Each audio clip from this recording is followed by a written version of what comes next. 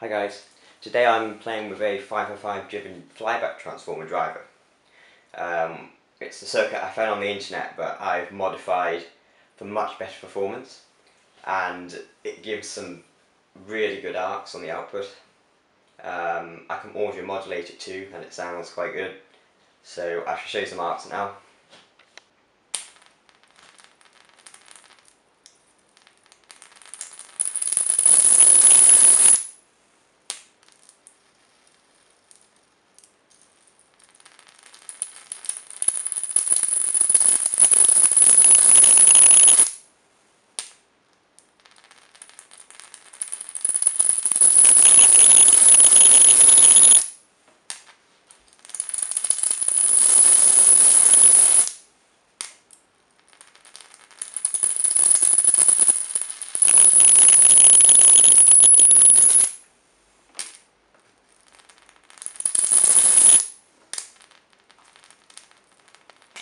This is the driver itself.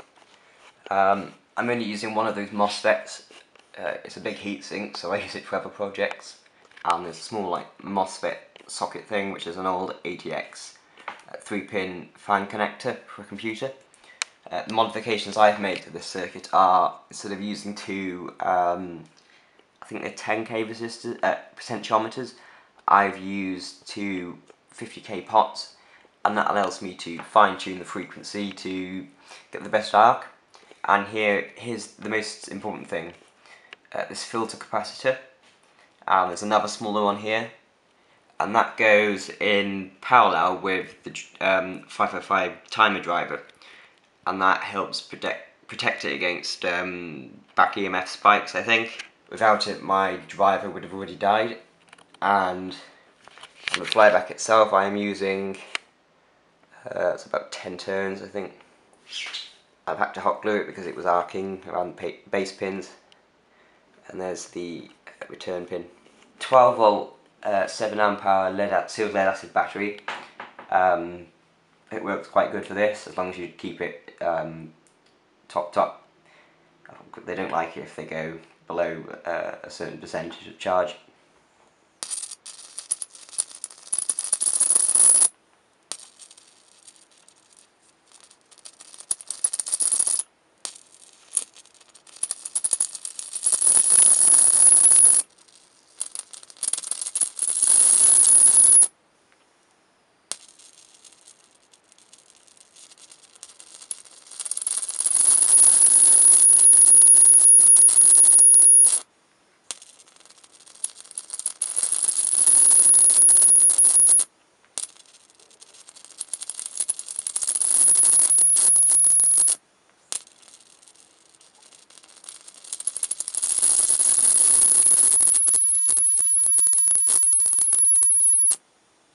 Well this MOSFET is uh, quite warm right now. It's not hot but it's warm. Uh, so it's doing its job good, keeping the MOSFET cool. Uh, the flyback, um, it was warm, it's still a bit warm now but that's about it. Alright guys, um, hope you enjoyed the video and thanks for watching and goodbye.